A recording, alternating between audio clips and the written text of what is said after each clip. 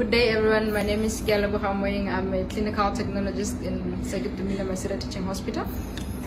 I'm going to take you through mechanical ventilation and its main uses. When we are normal and fit, we use our chest muscles to breathe in oxygen and other gases and we also take out carbon dioxide. So when we when eventually fall sick, we that is where now the, the respiratory system gets compromised then and we cannot take an adequate oxygen and take out carbon dioxide efficiently. So that is where now we use this machine known as mechanical ventilator. For mechanical ventilation to be in place, we need a special connection, a special tube known as the endotracheal tube, which is going to act as an artificial airway. When it's finally connected, when the patient has inserted the artificial airway, that is when now we connect the patient to a breathing circuit, to a pre-tested ventilator. The role of clinical technology in, in this whole ICU and mechanical ventilation is to make sure that all the machines are tested and are ready for patient use when we eventually get a patient. So now this machine has a special breathing tube or a, breathing circuit which has an inspiratory port and an expiratory port.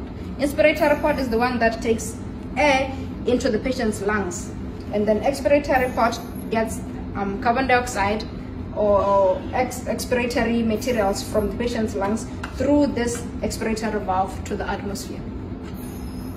And then one may ask themselves where we get the oxygen and other gases that we take into the patient's lungs.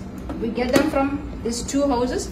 This one gives us oxygen and this one gives us medical air, which comprises of the nitrogen and other gases that we need for the normal functionality of the lungs and all these gases are from our plant that we have in the hospital.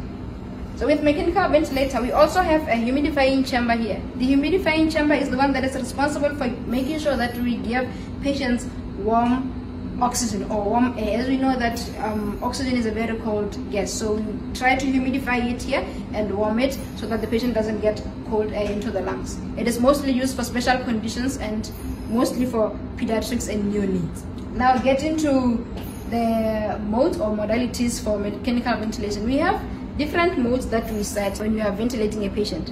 Different modes depends on the ideal mode to use in mechanical ventilation is the one that is going to work for the patient depending on the patient's condition and the one that is good for the user that is the doctor or whoever that is in charge of that particular patient so we have different modes and we have different actually we have different levels or stages of ventilation when the patient comes in with a, a very compromised respiratory system, we connect them to the ventilator and then we monitor. The ventilator would pick up and sense when there are any changes to the respiratory system of the patient. When the patient recovers from whatever injury that was there to, to the system or to the, the, to the rest of the body, the ventilator would keep on sensing the patient's efforts. When the patient tries to breathe in, the ventilator would hold its breath to allow the patient to breathe.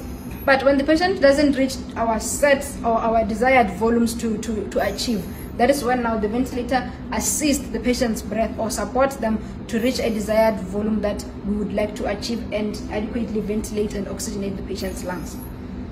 So now, when the patient recovers from whatever uh, illness, when the patient finally or eventually recovers and gets back to their breathing system, we reduce the work from the ventilation and allow the patient to give their own breath. Eventually, that is that is now called weaning. Eventually, we are going to keep on reducing the, the, the ventilator effort and allow the patient to give their breaths to reach our desired or the normal set, the normal known respirations for that particular patient.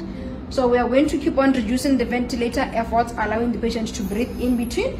Well, and, and now we are going to reach to a special mode that is known as CPAP, which is called a, a, a final weaning mode where now the patient would give all all the work of breathing all the work of the breathing will be from the patient and the, the machine would only give oxygen and PEEP that is PEEP to keep the airways open for adequate oxygenation and pressure support also just so that if the patient fails the ventilator can pick up and support the patient's breath to reach what we desire to achieve and then finally now when the patient gets from the ventilator, they go to um, a, a, certain point where now they are still connected to the tube, but they use oxygen, oxygen therapy. When we finally see that uh, the patient is saturating pretty much well on T-piece, the endotracheal tube can now be removed and the patient can be given oxygen therapy through a face mask.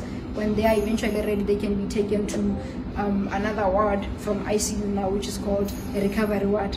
the role of biomed in this covid-19 era is to make sure that all all wards and all all units in this hospital are supplied with adequate machines which are on their normal functions for patient recovery thank you very much for having me that is all i had for you